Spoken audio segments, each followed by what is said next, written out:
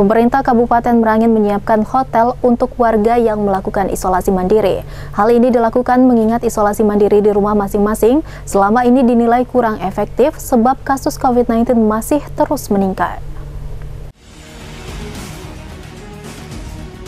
Pemerintah Kabupaten Merangin menyiapkan gedung isolasi mandiri terpadu bagi para pasien COVID-19 yang menjalani isolasi mandiri di rumah. Hal ini menyusul meningkatnya kasus penyebaran COVID-19 di Kabupaten Merangin yang disinyalir akibat tidak disiplinnya pasien isoman.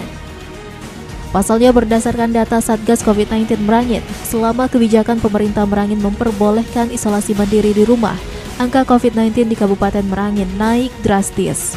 Bahkan dalam tiga bulan terakhir naik sekitar seribu kasus. Dari 224 orang yang saat ini masih dalam perawatan akibat terjangkit wabah COVID-19, sebagian besar melakukan isolasi mandiri di rumah masing-masing. Sementara sebagian kecilnya melakukan isolasi di rumah sakit dengan kondisinya mempunyai gejala sedang hingga berat. Pelaksana tugas Bupati Merangin Mas Huri mengatakan, pemerintah Merangin telah menyiapkan rumah susun sewa yang berada di belakang kantor Dinas Perumahan dan Pemukiman untuk dijadikan tempat isolasi mandiri terpadu. Namun kondisinya saat ini masih dalam perbaikan dan untuk sementara tempat isolasi mandiri terpadu akan dibuat di Hotel Permata.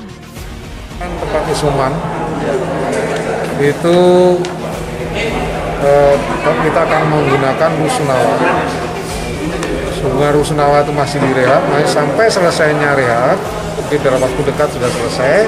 Sementara kita persiapan Hotel Permata. Setelah Rusunawa dari Permata nanti kita pindahkan ke Sementara itu, pihak manajemen Hotel Permata mengaku siap jika pemerintah Merangin menjadikan hotelnya sebagai tempat isolasi mandiri. Pihaknya menjelaskan kapasitas di Hotel Permata saat ini ada 28 kamar dan bisa diisi oleh dua orang sampai tiga orang per kamar. Uh, kami siap, prinsipnya kami siap untuk uh, dipakai untuk uh, isoma, isolasi mandiri dari Dinkes. Itu berapa ruangan di sini? Semua kamar 28 kamar. Untuk kapasitas berapa orang? Ada yang tiga orang per kamar, ada yang dua orang per kamar. Riko Saputra, Cek TV melaporkan.